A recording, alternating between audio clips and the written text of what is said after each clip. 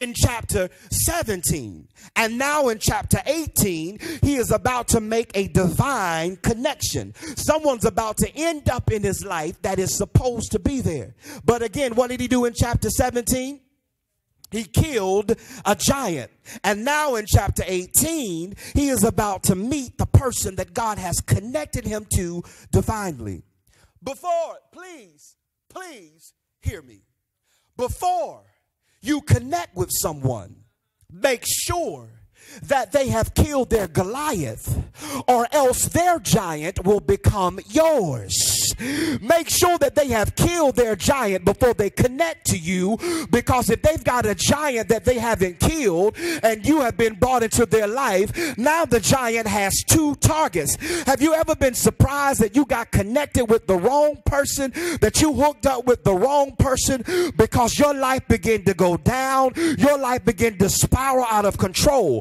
Before God would allow David to meet Jonathan, he says, You got to kill Goliath so that there is nothing that will jeopardize the divine connection that I am bringing about in your life. Hear me and hear me well. That before you get involved with people, make sure you've seen them kill their biggest challenge. Because if they haven't, your relationship with them is going to struggle behind the thing that you had nothing to do with. It wasn't your fault, but because they didn't kill it, that giant is going to rise up every now and again, and you're going to have to deal with their undefeated giant.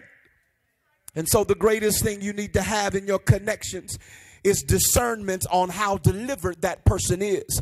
Because if they haven't been truly set free for real, they're going to bring hell into your life. And I don't need no help fighting devils because I got my own devils very much. Thank you.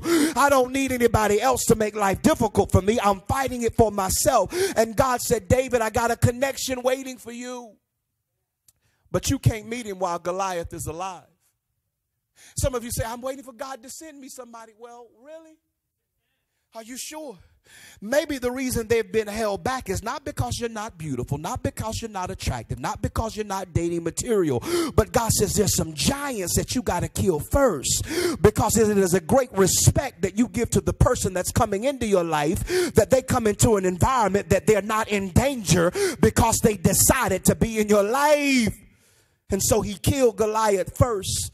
And God says, now you're ready for the connection because you shouldn't be getting with people when you're being followed by devils.